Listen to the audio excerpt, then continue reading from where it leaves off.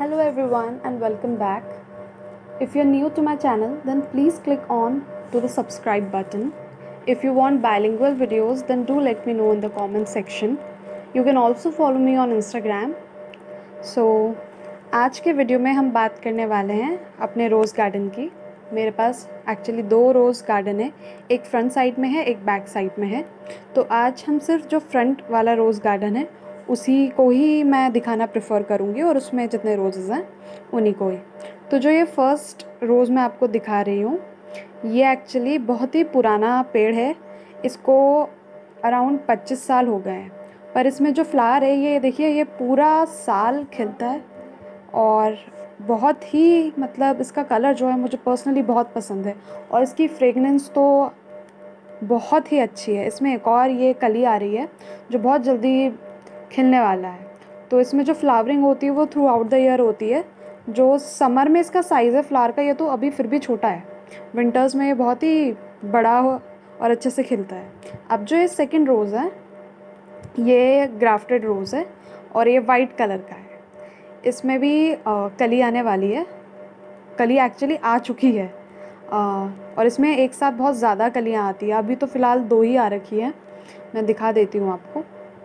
इसकी पिक्स भी मैंने इन सब की इंस्टाग्राम में डाली है। अगर आप चाहें तो आप वहाँ से भी देख सकते हैं। और उसका लिंक मैंने यहाँ पे अपनी वीडियो में भी डाला है और चैनल में भी डाला है। तो आप वहाँ से भी फॉलो कर सकते हैं। नाव ये जो थर्ड प्लांट है, ये एक्चुअली एक कट फ्लावर है।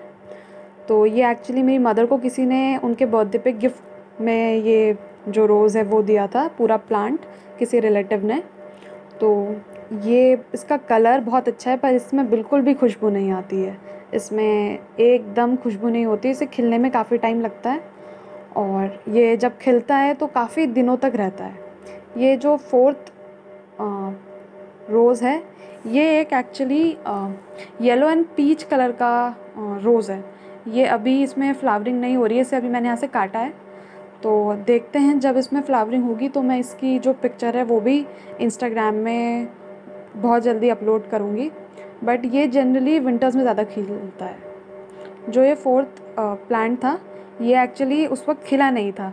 तो मैंने कुछ दिन बाद फिर से वीडियो बनाया, जिसमें एडिट किया है थोड़ा और इसकी पिक्चर डाली है। इसका जो कलर है, ये बहुत ही अमेजिंग है। ये येलो और ऑरेंज कलर का जो ये फ्लेम्स की तरह लगता है, ये पर्सनली मुझे इसका कलर बहुत ही ज़्यादा पसंद है। इसमें अभी एक ही फूल खिला है। अब ये है रोज़ इसकी जो खुशबू है, पूरा गार्डन फुल हो जाता है जब भी इसमें जितने भी इसमें जितनी कलियाँ हैं, सब में जैसे ही जैसे आपका फूल खिलता है, पूरा गार्डन महक उठता है, इसकी खुशबू बहुत प्यारी है। एक्चुअली मैं आपको क्या बताऊँ, मुझे इसकी खुशबू बहुत ही पसंद है। तो इसको हम लोग क्योंकि ये बेल वाला, क्रीपर वाला वो है, रोज़ है तो इसको हम ऐसे ही रखते हैं। हम मैंने इसको पर्सनली वॉल का सहारा नहीं दिया है, मैंने ऐसे ही छोड़ा है। हम इसकी टाइम टाइम पे कटिंग भी करते रहते हैं और इसको ऐसे ही छोड़ के रखा है अभी। अब जो ये इसके बगल में है, इसकी मैंने इंस्टाग्राम में एक बहुत ही अच्छी फ़ोटो डाली है। अगर आपने, अगर फॉलो फॉलो करते हैं आप मुझे उसमें तो आप देखें। तो ये प्योर कट फ्लावर है ये भी। ये भी एक पीच कलर का कट फ्लावर है, जो कि बहुत ही खूबसूरत है। अब आते हैं इस वाले रोज़ में। ये एक पर्पल कलर का रोज़ है, जो बहुत अमेजिंग है। ये अभी मैंने कुछ तीन चार साल पहले ख़रीदा था बट इसकी केयर बहुत अच्छे से हुई है और इसकी ग्रोथ बहुत अच्छी हुई।